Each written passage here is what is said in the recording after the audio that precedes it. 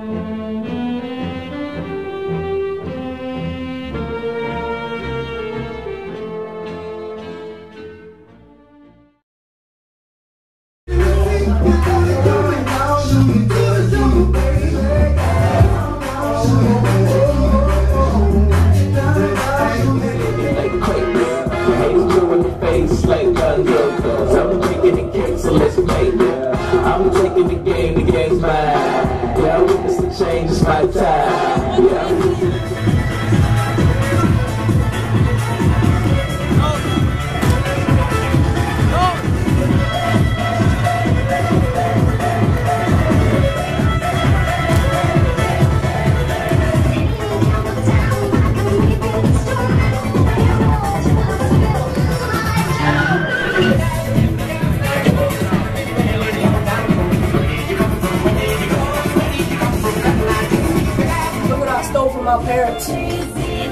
He knows how to party.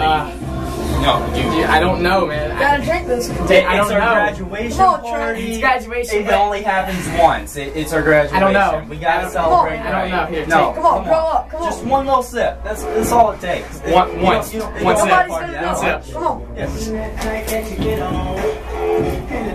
Mm. You want to slow up, dude? That's nice. Oh, I know it is. You like it, don't you? Mm. That's the best. Now it's time for the real party to start. Turn it out. To the left. Take it back now, y'all. One hop this time. One hop this time. Reverse.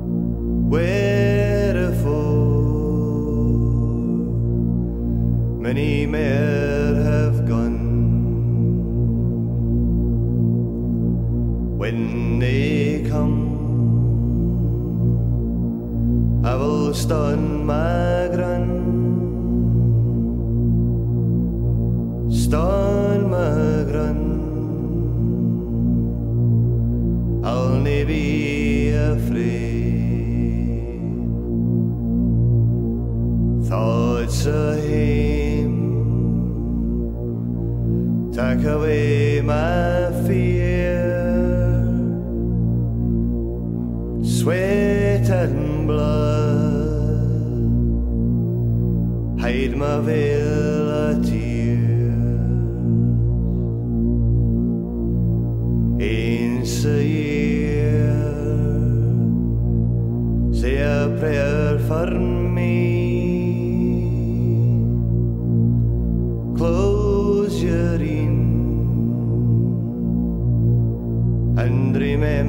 but me. Ne'er more shall I see the sun For a fell Till German's gone.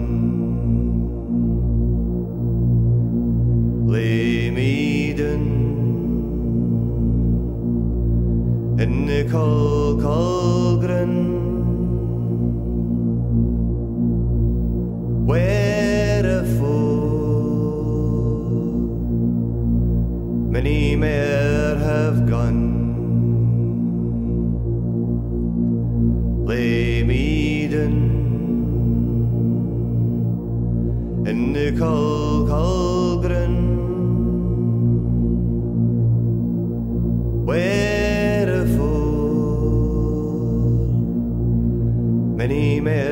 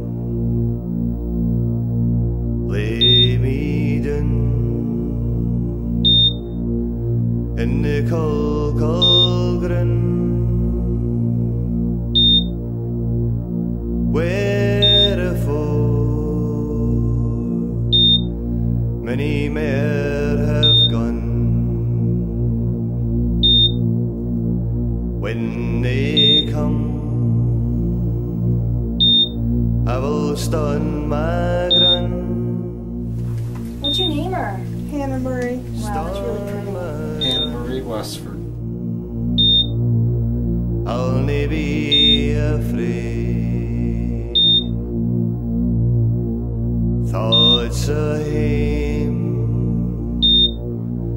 Take away my fear. Sweat and blood. Hide my veil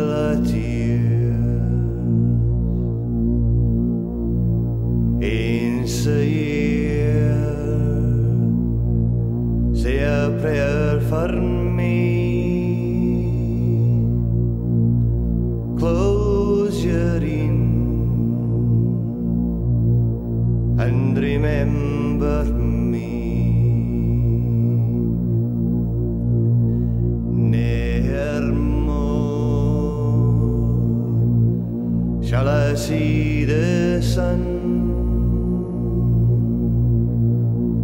For a fell till German's gone.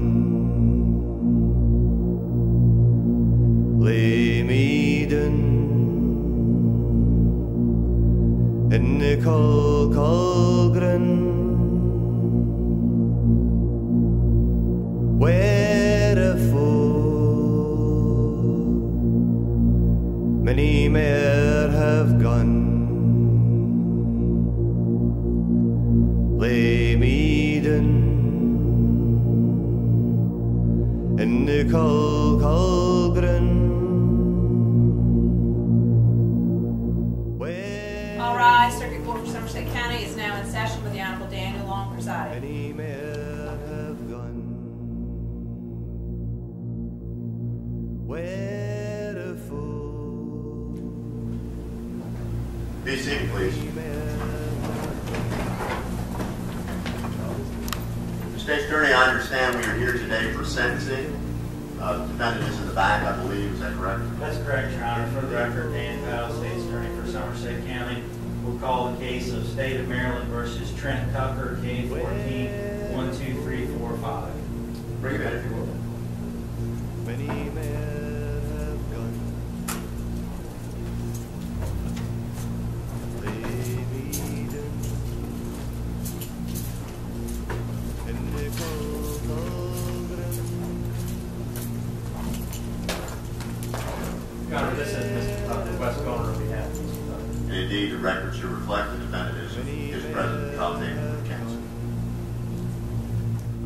should reflect the defendant is present at the trial table with counsel. Uh, counsel, a court requested pre-sentence investigation report that has been received, received by the court.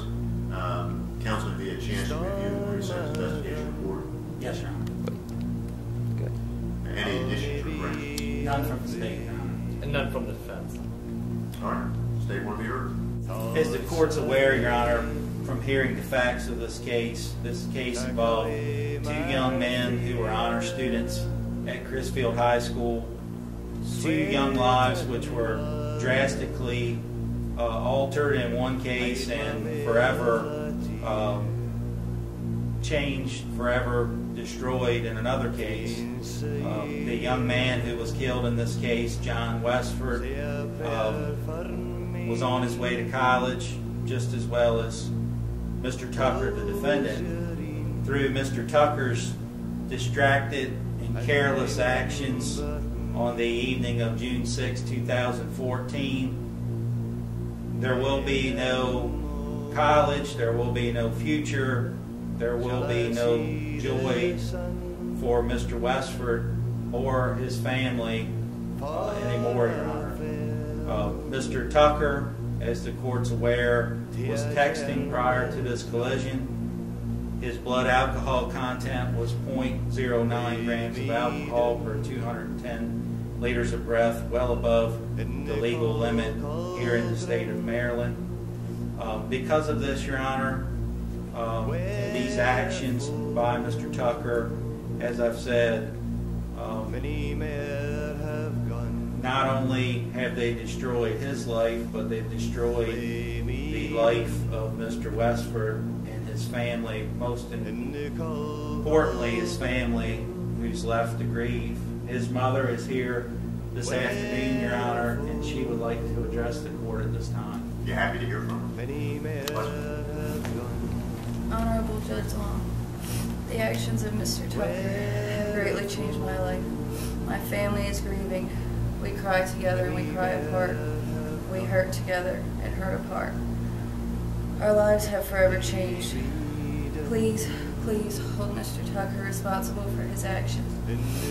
I know it will not bring John back, and I know it will be difficult for his family.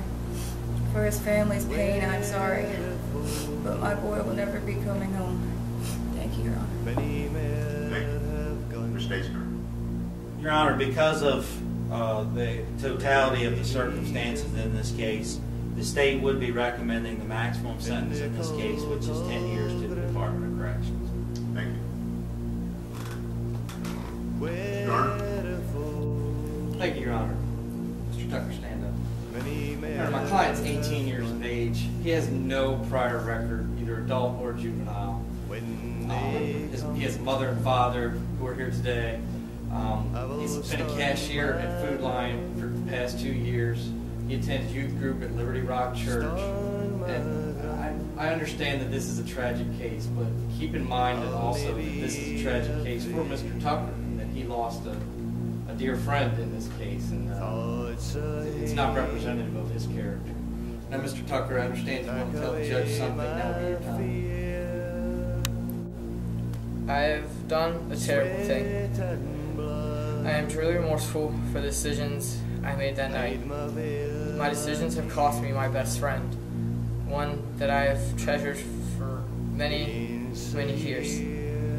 It was my honor to have known John, and it was a very poor decision to drink that night.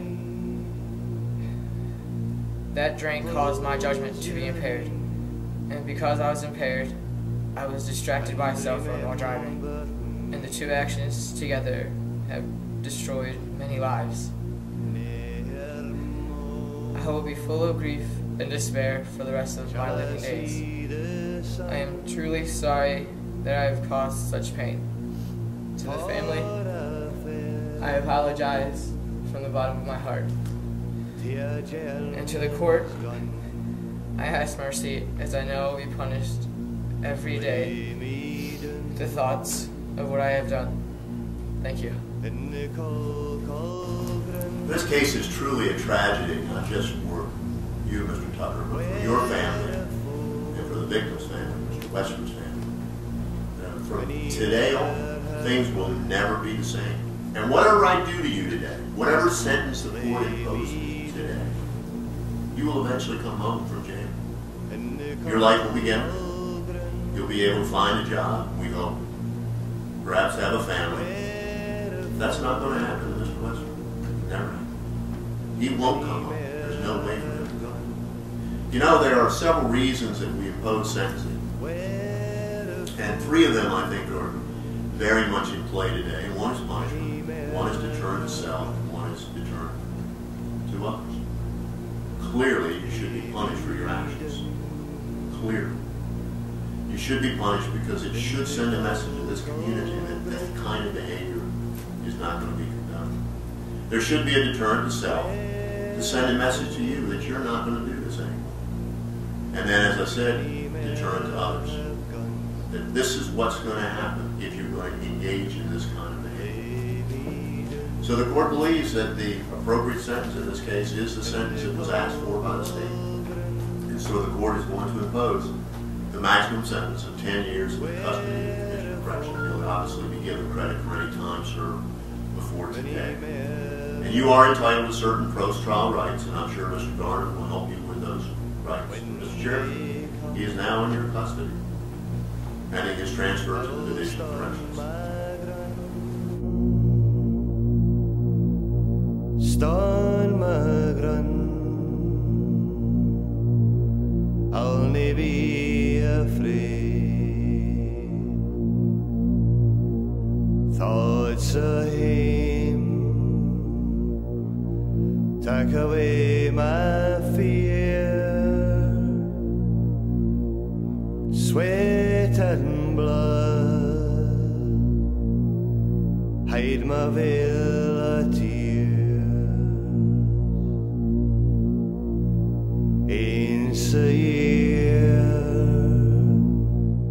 Say a prayer for me. I lost my best friend in the next 10 years of my life because of one cause of